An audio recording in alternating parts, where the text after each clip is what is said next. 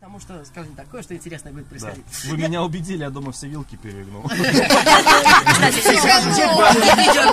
Я даже паломник сойду. Не видеооператоры показывают часто Стоп, видео, где а, после моих мероприятий люди сидят и вот просто делают вот так где-то в глубине зала. Это медитация. Все это шиза, а не медитация. Покажу вам, что едят фокусники, и должен вас отпустить обратно, потому что, ну, это не авторский Пла- Юр Павловича Гаврилова. Вы знаете, что едят фокусники?